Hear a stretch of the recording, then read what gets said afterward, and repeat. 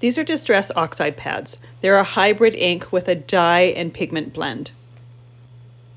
They are water reactive, just like the original Distress pads, but because of the pigment blended in there, they have a little bit of opacity to them. You can also get separate ink pad refills.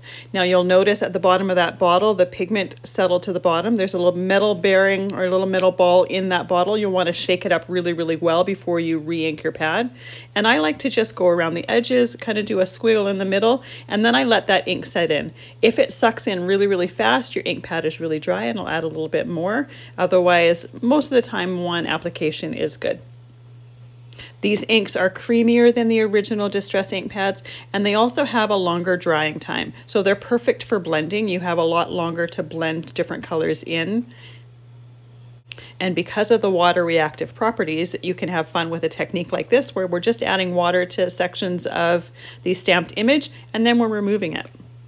The original dye ink pads have more transparency to them than the oxide pads. The oxides are a little bit more opaque and have kind of more like a chalky, suede finish.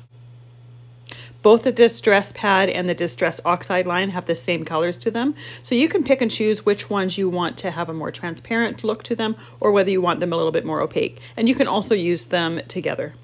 The ink pad size is about 3 inches by 3 inches, so they're a nice size to hold in your hand to ink up your stamps. I've been using Distress Oxide since they first came out. They're a fabulous product and a great addition to your stamping inks.